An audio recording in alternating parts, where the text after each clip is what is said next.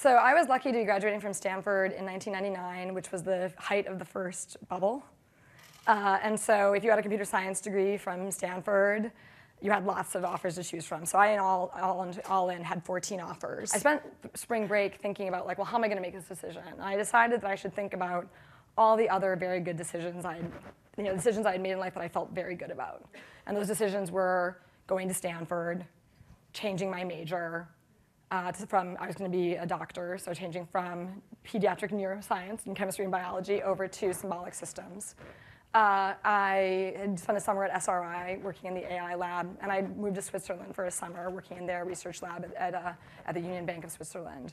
And so I thought about those things and I said, okay, those are all radically different decisions where you go to college, what you major in, your summer internships, moving to another country, you know, what do they have in common? And I realized that the two things they had in common was that I always surrounded myself with the smartest people I could find. Because I think that when you're surrounded by smart people, they challenge you and they make you think about things you know, harder and, and just rise to another level. And the second thing is, I always did something I felt a little unready to do.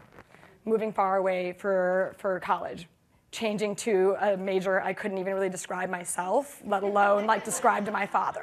like, um, you know, going to SRI after I'd only taken two programming classes, and like they were all programming in Lisp, and I programmed in C, which was like speaking a foreign language. I was like, how do I get a variable? How do I get a global variable? And they were like, set env? I don't even know what you're talking about.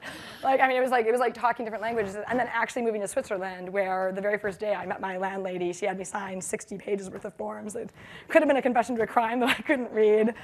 I went to the grocery store and got in trouble because it turns out you buy produce in Europe completely differently you have to print your own sticker. so if you go buy grapes, you have to weigh it and print your own sticker out. I went with my grapes unweighed, unstickered. And this woman just started yelling at me in German. And I was like, eventually I was like, I, I don't, I don't know.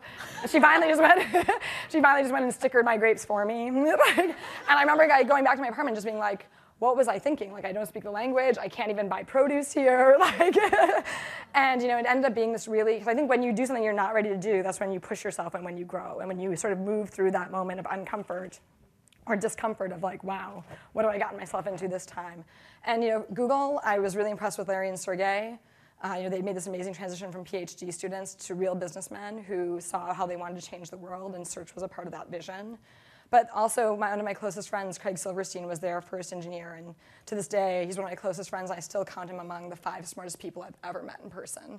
So I was like, you know, I just want to go to Google and code alongside Craig. You know, these guys want to build a company. And they're eight people, and they can't seem to even pay for someone to vacuum the floor. After they tear apart their own business cards and create all these schnibbles. like, um, but you know, they, you know, I think they may succeed, they may fail. But I'm going to learn more being there, trying to build a company, being in the room as the decisions get made. Uh, you know, I'll learn more there, even if we fail, than I will succeeding in some of these other places.